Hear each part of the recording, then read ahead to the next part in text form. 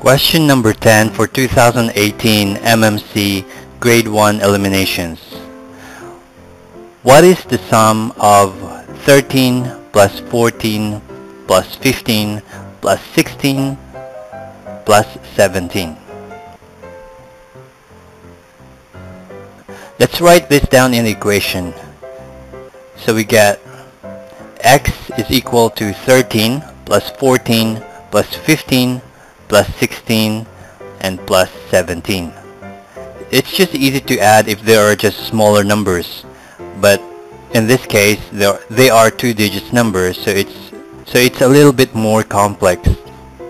The trick for this is to combine the numbers first that you can easily get the sum. Let's say numbers that are divisible by 10 or 5.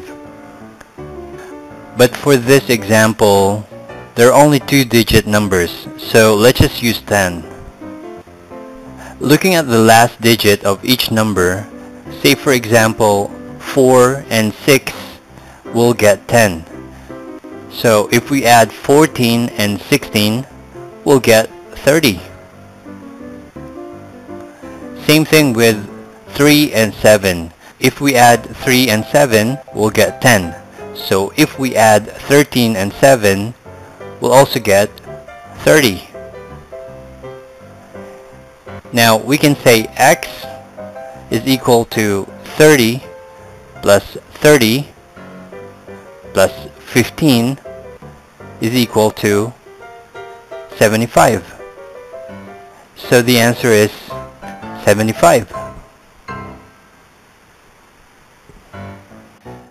You can practice more with MTAP questions using our mobile app, which we added the download link in the description below.